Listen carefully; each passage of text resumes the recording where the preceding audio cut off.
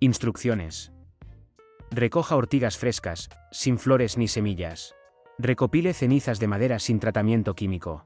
En un recipiente grande de plástico, agregue 10 litros de agua de lluvia por cada kilogramo de ortigas frescas y cada kilogramo de cenizas de madera.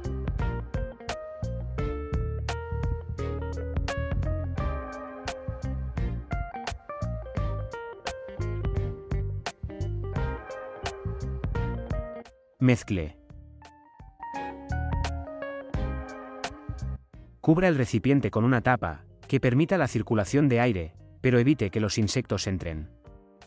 Deje que la mezcla fermente durante dos semanas, en un lugar cálido y soleado. Remueva la mezcla cada dos días, para favorecer la fermentación. Cuando la mezcla ya no emita burbujas, es señal de que la fermentación ha terminado.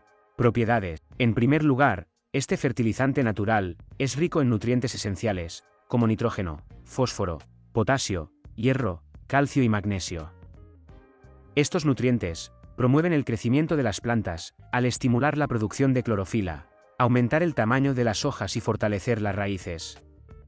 En segundo lugar, este fertilizante fortalece la resistencia de las plantas. Los aminoácidos, flavonoides y fitohormonas, fortalecen la resistencia de las plantas a enfermedades. En tercer lugar, este fertilizante es un insecticida y fungicida natural, contra insectos no deseados en el jardín. Antes de usar el purín de ortiga, es necesario filtrarlo, más o menos finamente, dependiendo de si se va a esparcir con una regadera o un pulverizador.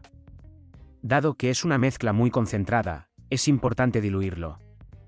Mezcle un litro de este fertilizante ecológico, con 10 litros de agua.